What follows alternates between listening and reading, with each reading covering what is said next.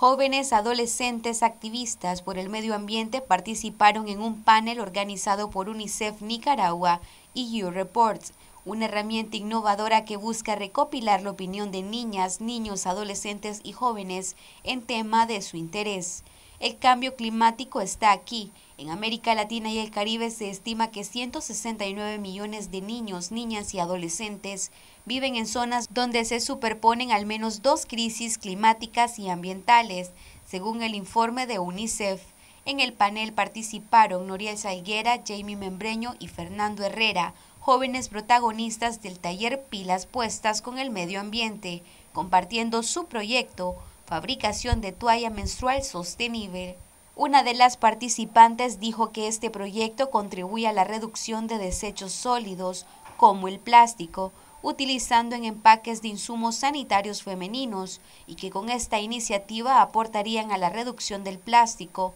y contribuirían a la reducción de los gastos en las familias nicaragüenses. Este, este proyecto de creación de las toallas menstruales sostenibles pues nace de la necesidad de que la menstruación sea parte de la salud pública de Nicaragua y también viendo desde el punto de vista de muchas niñas, adolescentes y mujeres que se encuentran en vulnerabilidad por el acceso a productos menstruales. Eh, se crea también para poder brindarle estos productos menstruales que sean eh, utilizables a largo plazo, que no tengan un gran impacto en el cambio climático, igual que mm,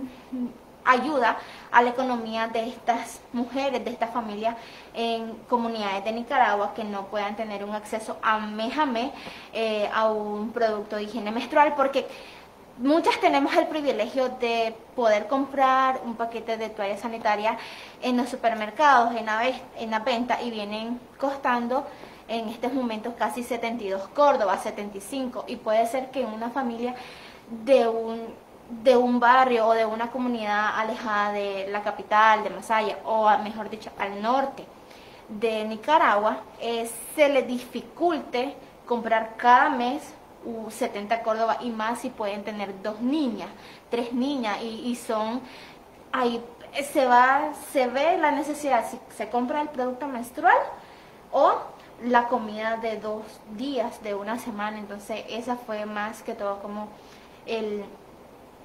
se puede ser la inspiración o el punto de arranque de este proyecto. El representante adjunto de UNICEF Nicaragua, Eduardo Gallardo, destacó que desde el organismo propician espacios en el que los adolescentes y jóvenes se apropian de habilidades y competencias que contribuyen a frenar la crisis climática.